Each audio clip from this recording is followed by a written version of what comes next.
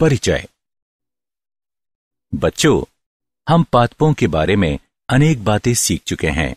अब हम पादपों की वृद्धि, विकास एवं अन्य अनिवार्य गतिविधियाँ करने के लिए आवश्यक खनिज तत्वों के बारे में सीखेंगे। उपापचय तथा अन्य गतिविधियों हेतु आवश्यक अधिकांश पोषक तत्वों को पादप मृदा से ग्रहण करता है। मृदा जड़ों को स्थिर होने तथा वृद्धि करने के लिए स्थान उपलब्ध कराती है। ये जल धारण करती है, जिसमें मृदा के पोषक तत्व आयनों में परिवर्तित हो जाते हैं, जिस रूप में पौधे उन्हें उपयोग कर सकते हैं। उदाहरण के लिए, पोटेशियम पर्णरंध्रों के खुलने और बंद होने में सहायता करता है। सभी अनिवार्य पोषक तत्वों की उपलब्धता के साथ पौधा भलीभांति जीवित बना रह सकता है। तो इस पूरे मॉड्यूल में हम पादपों हेतु अनिवार्य पोषक तत्वों के बारे में सीखेंगे।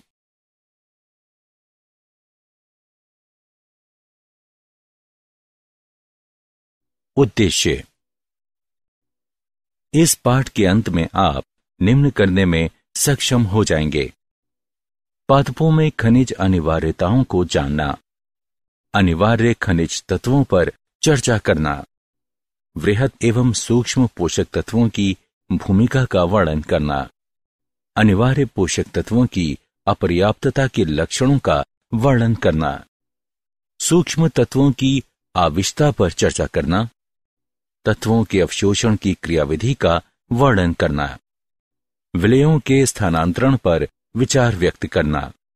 नाइट्रोजन के उपापचय का वर्णन करना।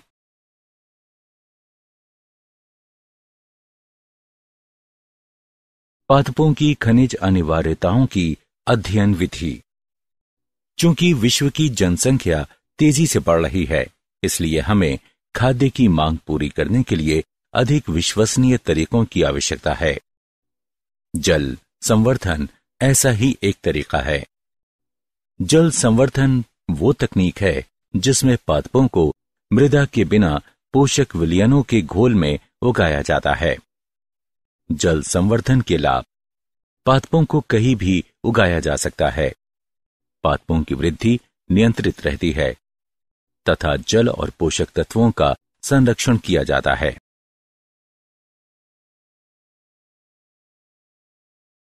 अनिवार्य खनिज तत्व।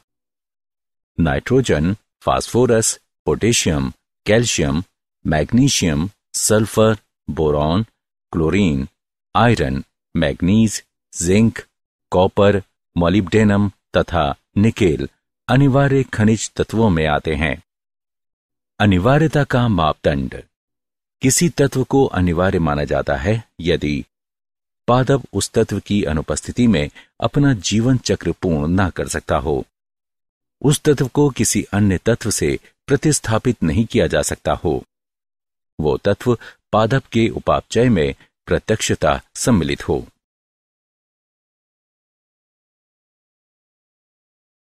अनिवार्यता निर्धारण के मापदंड। इन तत्वों को दो व्यापक श्रेणियों में बांटा जा सकता है। ये इस प्रकार हैं।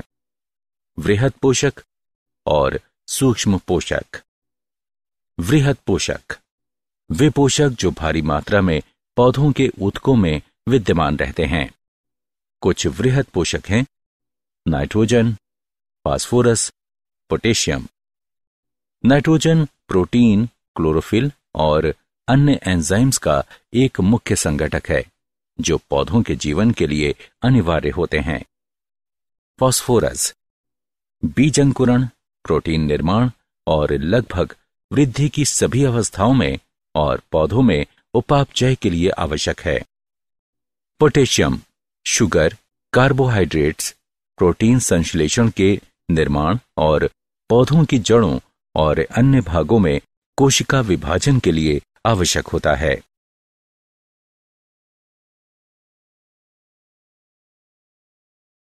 सूक्ष्म पोषक तत्व। सूक्ष्म पोषक तत्व पौधों की वृद्धि के लिए अनिवार्य ऐसे तत्व होते हैं जिनकी आवश्यकता बहुत ही न्यून मात्रा में होती है। ये तत्व गौण तत्व भी कहलाते हैं। Boron, iron, chlorine, manganese, molybdenum और जिंक सूक्ष्म पोषक तत्व हैं।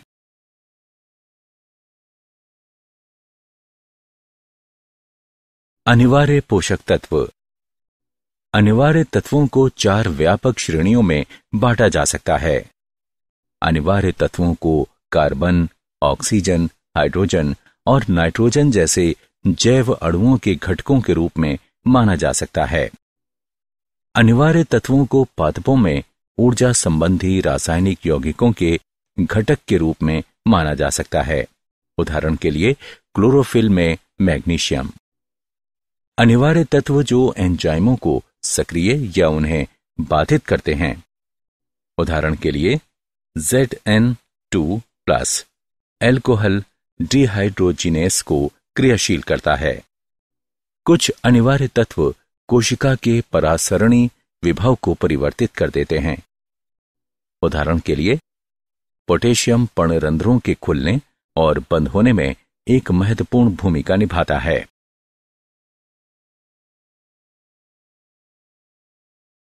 वृहत एवं सूक्ष्म पोषक तत्वों की भूमिका। नाइट्रोजन इस तत्व की आवश्यकता सर्वाधिक मात्रा में होती है और इसका अवशोषण अमोनियम आयन, नाइट्रेट आयन और नाइट्राइट आयन के रूप में होता है। ये विभाज्योतक ऊतकों एवं सक्रिय उपापचयी कोशिकाओं के लिए आवश्यक होती है। ये प्रोटीन हार्मोन, न्यूक्लिक अम्लों इत्यादि के संगठन में सहायता करता है। फॉस्फोरस इसे पौधों के द्वारा फॉस्फेट आयनों के रूप में अवशोषित किया जाता है। ये कोशिका झिल्ली कुछ प्रोटीन, न्यूक्लिक अम्ल और न्यूक्लियोटाइड का भाग है और सभी फास्फोराइलेशन क्रियाओं के लिए आवश्यक है। पोटेशियम। इसे पोटेशियम आयनों के रूप में अवशोषित किया जाता है। ये पण रंध्रों के खुलने और बंद होने में कोशिका विभाजन में महत्वपूर्ण भूमिका निभाता है।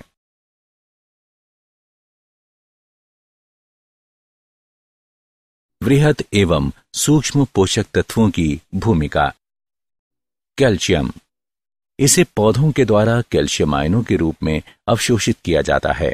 ये कोशिकाओं में जल संचरण को बढ़ाता है और कोशिका वृद्धि और विभाजन के लिए अनिवार्य होता है।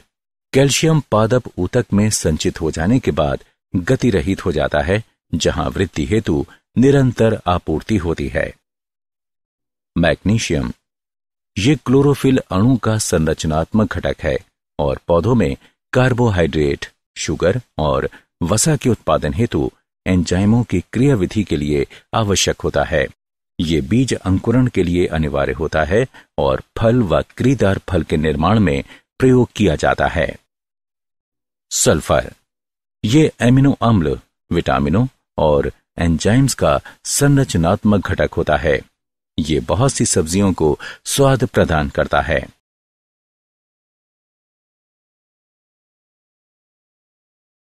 वृहत एवं सूक्ष्म पोषक तत्वों की भूमिका। लोहा। इसे फेरिकाइनों के रूप में पौधों के द्वारा अवशोषित किया जाता है। ये बहुत सी एंजाइम क्रियाओं के लिए आवश्यक होता है और क्लोरोफिल के संश्लेषण के लिए एक उत्प्रेरक का कार्य करता है। मैग्नीज। ये प्रकाश संश्लेषण, श्वसन तथा नाइट्रोजनी उपापचय के लिए एंजाइम क्रियाशीलता में महत्वपूर्ण भूमिका निभाता है। जिंक। ये कार्बोहाइड्रेट्स उपापचय, अंदर ग्रंथि का दीर्घीकरण तथा प्रोटीन संश्लेषण हेतु अनिवार्य है। तांबा। ये जड़ों में उपस्थित होता है और नाइट्रोजन उपापचय में भूमिका निभाता है। ये एंजाइम्स का घटक है जो कार्बोहाइड्रेट और प्रोटीन्स का प्रयोग करते हैं।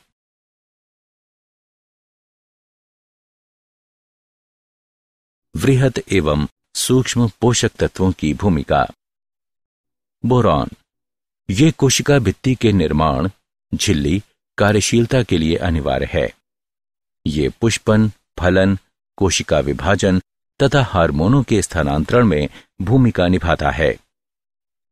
मॉलिब्डेनम ये नाइट्रोजन को अमोनिया में अपचयित करता है।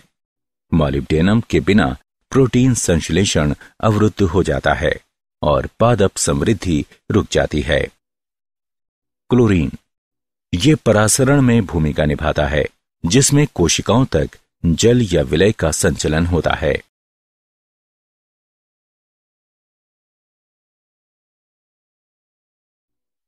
अनिवार्य तत्वों की अपर्याप्तता के लक्षण। जब पाथपों में एक या अधिक अनिवार्य तत्वों की मात्राएँ अपेक्षा से कम हो जाती हैं तो पादप में कमज़ोर वृद्धि प्रदर्शित होती है और विशिष्ट अपर्याप्तता लक्षण उत्पन्न हो जाते हैं। तत्वों की अपर्याप्तता के कारण पादपों में अकारिकीय परिवर्तन अपर्याप्तता लक्षण कहलाते हैं। महत्वपूर्ण अपर्याप्तता लक्षण निम्न हैं। क्लोरोसिस। हरित पादपों की वो असामान्य दशा जिसमें तने और पत्तियाँ विवर्ण, हरे या पीले पड़ जाते हैं। ये पीलापन हरे पण हरित क्लोरोफिल रंजकों के स्तर में कमी आने के कारण होता है। ये अनेक कारकों से हो सकता है। मैग्नीशियम, आयरन या मैग्नीज की अपर्याप्तता एक सामान्य कारक है।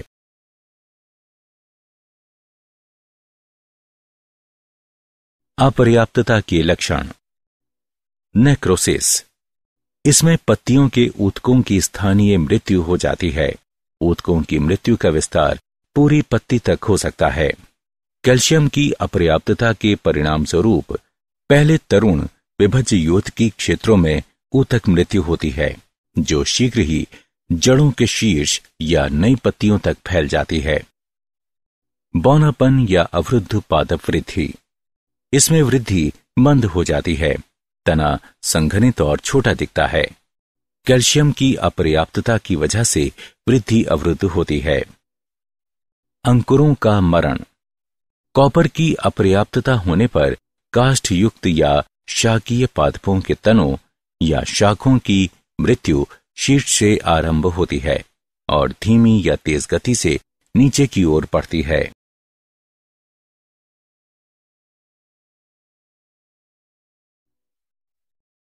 सूक्ष्म पोषक तत्वों की आविष्टता पौधों में सूक्ष्म पोषकों की अनिवार्यता की मात्रा में मामूली वृद्धि या कमी के कारण आविष्टता उत्पन्न होती है। आविष्टता के लक्षणों की पहचान करना कठिन है।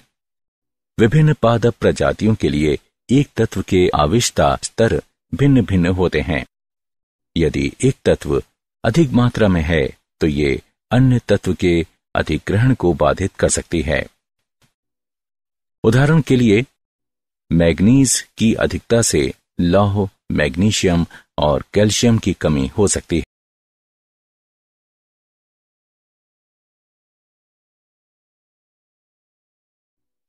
तत्वों के अवशोषण की क्रियाविधि। आयनों की गति को अभिवाह कहते हैं। कोशिकाओं के अंदर आयनों की गति को अंतर्वाह और बाहर की गति को बहिर्वाह कहते हैं। खनिज आयनों का अधिग्रहण दो चरणों में होता है। प्रथम अवस्था में पादप ऊतक खनिज विलियन में रखे जाते हैं। खनिज आयन तेज़ी से वाहे कोशिकाओं एपोप्लास्ट में जाते हैं। द्वितीय अवस्था में खनिज आयन आंतरिक स्थान सिम्प्लास्ट में मंद गति से जाते हैं। ये एक सक्रिय प्रक्रम है तथा उपापचयी ऊर्जा का उपयोग किया जाता है।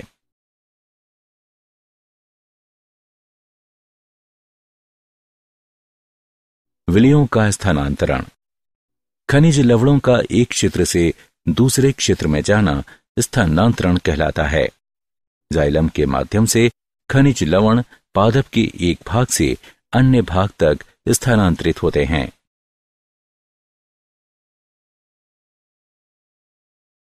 मृदा अनिवार्य तत्वों के भंडार के रूप में। मृदा में तत्व अनेक रासायनिक रूपों में उपस्थित रहते हैं। तत्व मृदा विलयनों में आयनों के रूप में खुल सकते हैं। वे अविलय रूपों में रह सकते हैं। चूँकि तत्व मृदा में अपना स्वरूप परिवर्तित करते हैं, इसलिए एक गतिशील साम्य अवस्था उपस्थित रहती है, जो मृदा की विभिन्न दशाओं, जैसे कि विभिन्न आयनों की सांद्रता, पीएच तथा मृदा में वायु उपलब्धता आदि के अनुसार परिवर्तित होती है। मृदा में नाइट्रोजन स्थिरीकरण कराने वाले जीवाणु अन्य उपयोगी सूक्ष्म जीव भी होते हैं तथा ये जल भी धारण करते हैं।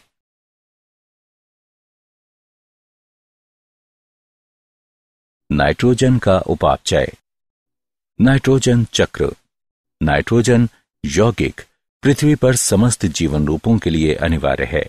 उदाहरण के लिए प्रोटीन और न्यूक्लियक अम्ल। नाइट्रोजन चक्र के निम्न चरण होते हैं।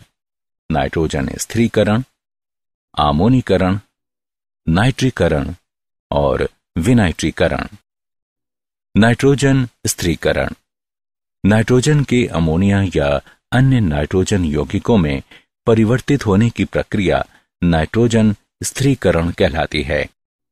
तड़ित तथा पराबैग्नी विकरण नाइट्रोजन को नाइट्रोजन ऑक्साइडों जैसे कि N2O, NO और NO2 में परिवर्तित होने के लिए ऊर्जा उपलब्ध कराता है।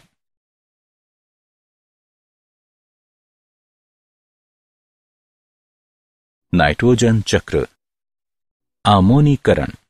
वह प्रक्रिया जिसके द्वारा कार्बनिक नाइट्रोजनी यौगिक अपघटित होकर अमोनिया उत्पन्न करते हैं। अमोनीकरण कहलाती है। नाइट्रीकरण। नाइट्रीकरण वह प्रक्रिया है जिसमें अमोनिया पहले नाइट्राइट तथा फिर नाइट्रेट में परिवर्तित होती है। 2NH3 प्लस 3O2 देता है। 2NO2 plus 2H plus plus 2H2O 2NO2 plus O two देता है। 2NO3 यह प्रक्रिया मृदा जीवाणुओं द्वारा संपन्न की जाती है, जो रसो स्वपोषी होता है। अमोनिया, नाइट्रोसोमोनास तथा नाइट्रोकोकस द्वारा नाइट्राइट में ऑक्सीकृत होती है। नाइट्राइट नाइट्रोबैक्टर द्वारा नाइट्रेट में ऑक्सीकृत होता है। नाइट्रेटों का पादपों द्वारा अपशोषण कर लिया जाता है और नाइट्रेटों के रूप में अपचयित कर दिया जाता है।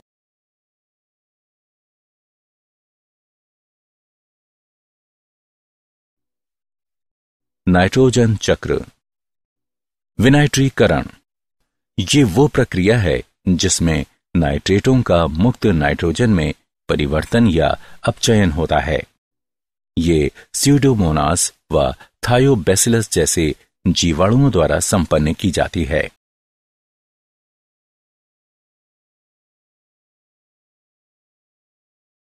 जैविक नाइट्रोजन स्थिरीकरण जैव नाइट्रोजन स्त्रीकरण वह प्रक्रिया है जिसमें सजीवों द्वारा नाइट्रोजेनस की उपस्थिति में अमोनिया का वायुमंडलीय नाइट्रोजन के रूप में अपचयन किया जाता है।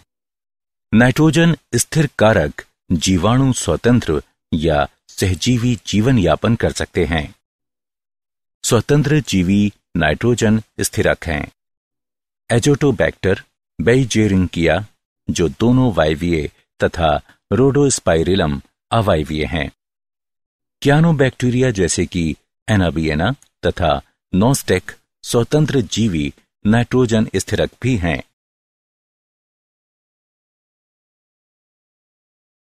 सहजीवी जैविक नाइट्रोजन स्थिरीकरण फलीदार पादप, जीवाणु संबंध, सहजीवी सहयोग का अच्छा उदाहरण है। फलीदार पादपों में मूल ग्रंथिकाएँ होती हैं, जिनमें सहजीवी जीवाणु, राइजोबियम, वायुमंडलीय नाइट्रोजन को अमोनिया में स्थिर करते हैं। ये अमोनिया अनेक जैव अणुओं, जैसे कि एमिनो अम्लों, प्रोटीनों विटामिनों तथा न्यूक्लियक अम्लों के लिए उपलब्ध कराई जाती है। फ्रेंकिया मृदा में रहने वाला एक स्वतंत्र जीवी जीवाणु है, जो वायुमंडलीय नाइट्रोजन को स्थिर करता है।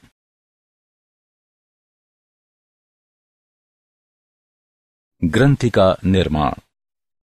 जब किसी फलीदार पादप का मूल रोम राइजोबियम के संपर्क में आता है तो ये जीवाणु द्वारा स्रावित रसायनों के कारण कुंचित या विरूपित हो जाता है।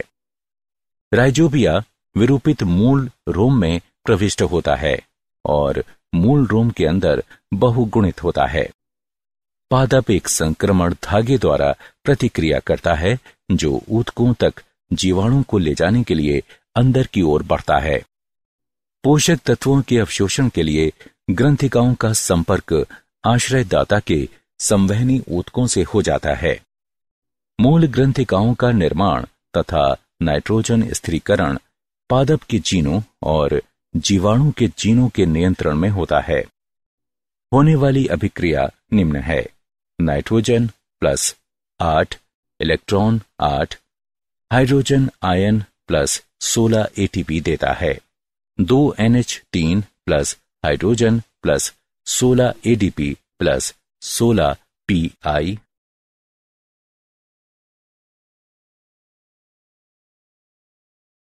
अमोनिया की नियति। नाइट्रोजन स्थिरीकरण द्वारा बनने वाली अमोनिया एमिनो अम्लों के संश्लेषण हेतु उपयोग की जाती है। एमिनो अम्लों के संश्लेषण की दो प्रक्रियाएँ हैं। अपचयित एमिनीकरण। अमोनिया अल्फ़ा कीटोग्लूटेरिक अम्ल से क्रिया करके ग्लूटेमिक अम्ल बनाती है। विपक्ष एमिनन। इस प्रक्रिया में एक एमिनो अम्ल से एमिनो समूह कीटो अम्ल के कीटो समूह पर स्थानांतरित होता है।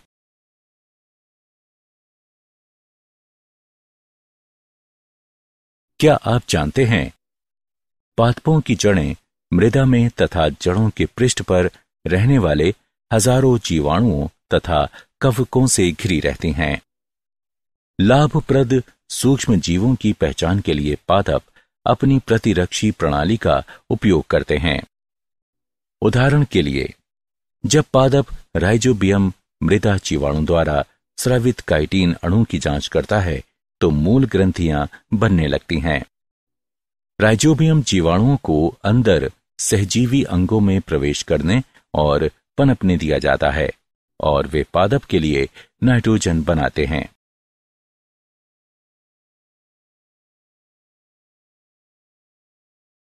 सारांश। आइए, हमने जो कुछ सीखा है, उसे संक्षेप में दोहराएँ। जल संवर्धन वो तकनीक है, जिसमें पादपों को मृदा के बिना पोषक विलयनों के घोल में उगाया जाता है। वृहद पोषक तत्व और सूक्ष्म पोषक तत्व, तत्वों की दो व्यापक श्रेणियाँ हैं। वे पोषक, जो भारी मात्रा में पौधों के उत्कों में विद्यमान रहते हैं वृहद पोषक तत्व कहलाते हैं। सूक्ष्म पोषक तत्व ऐसे तत्व होते हैं जिनकी आवश्यकता बहुत ही न्यून मात्रा में होती है।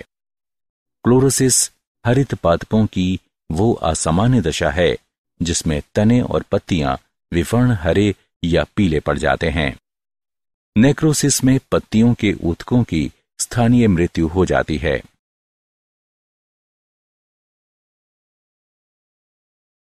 बौनापन या वृद्ध पादप वृद्धि में वृद्धि मंद हो जाती है।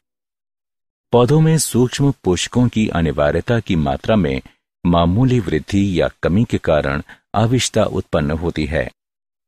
खनिज लवणों का एक क्षेत्र से दूसरे क्षेत्र में जाना स्थानांतरण कहलाता है। नाइट्रोजन चक्र में नाइट्रोजन स्थिरीकरण, आमोनीकरण, नाइट्रीकरण, विनाइट्रीकरण शामिल हैं। जैव नाइट्रोजन स्थिरीकरण वह प्रक्रिया है जिसमें सजीवों द्वारा नाइट्रोजेनिस की उपस्थिति में अमोनिया का वायुमंडलीय नाइट्रोजन के रूप में अपचयन किया जाता है।